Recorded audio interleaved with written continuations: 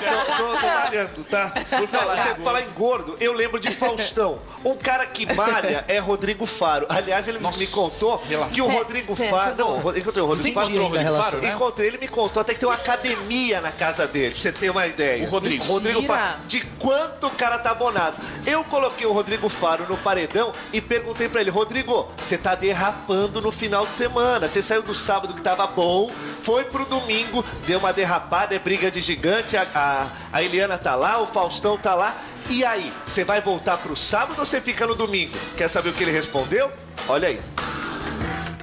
Vida de luxo, glamour e riqueza. Quando a Rede TV entra na vida da gente, olha o que acontece. Olha a sala da minha casa, obrigado, Morning Show, vocês estarem aqui. Mas não é verdade, cara. A gente está num hotel de bacana em São Paulo e a gente veio encontrar o Rodrigo Faro, o queridinho dos domingos da Record. O cara que trocou o sábado pelos domingos, conversou com o Morning Show e ainda revelou algumas peculiaridades do Valcir Carrasco. Se você não se lembra, Valcir Carrasco foi o cara que bancou que apostou no Rodrigo Faro quando ele era ainda apenas um ator nem tão conhecido. Ah, o Faro deu uma espetada no Valcir. Quer saber o que rolou? Olha aí. Aí está ele que lava, passa, seca, dança, canta. E você tem tempo pra ainda pro rally rola? E apresenta de vez em quando, né? De vez em quando. É, ultimamente eu não tenho feito muito isso, porque trabalhar no domingo é mais complicado, né? No bastidor, aquele que o cara não conhece de casa, o que, que o Rodrigo Faro faz? Ele troca relógio de, de luz? Faço. Vai mesmo? Eu, eu gosto muito, eu, eu já fiz umas oito, nove obras assim. E eu gosto de botar a mão na massa. Eu realmente faço instalação elétrica, adoro fazer. Troco varal como ninguém, adoro fazer isso. Mexo em hidráulica, adoro fazer isso. Quando eu quebro algum brinquedo das minhas filhas, Você vai lá consertar. Vou lá consertar, adoro mexer, adoro abrir, adoro ver fio, fita isolante, aquelas coisas. Eu, eu, eu tenho, porque eu, eu gosto de botar a mão na massa. Só que o que acontece é que eu sempre acabo me arrebentando.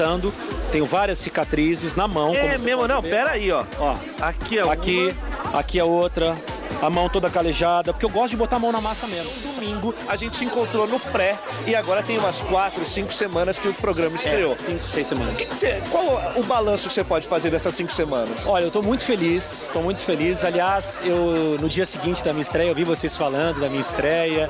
Foi muito legal, a gente estreou super bem.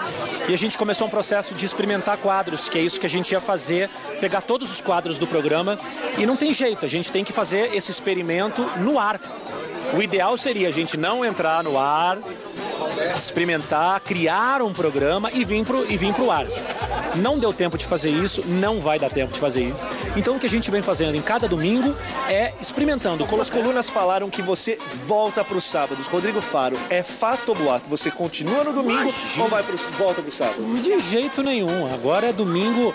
Que é- se eu quisesse moleza, eu ficava lá no sábado, né? Sentava no pudim e ficava ali no sábado tranquilo, nadando de braçada. Pra gente terminar, Valcir Carrasco, você falou dias atrás que ele era meio carrasco. O cara não deixava colocar um caco, um caquinho nas Ele suas não gosta, quadras. não, não. O Valcir é meu amigo pessoal, a gente janta junto, a gente tá sempre em casa e ele não gosta não. Quando você mexe no texto dele, quando você fica improvisando muito, mudando o que ele escreveu, ele chega às vezes até a mandar recado pra você no texto da novela para que todo mundo veja, para que sirva de exemplo. O Valcir é sensacional. Agora, cá entre nós, precisa improvisar alguma coisa que o Valcir escreve? De jeito nenhum, já vem pronto. A Tatá falou aqui, o texto vem pronto, vem lindo, só pra você falar, não precisa fazer nada. Não fica com ciúmes, não.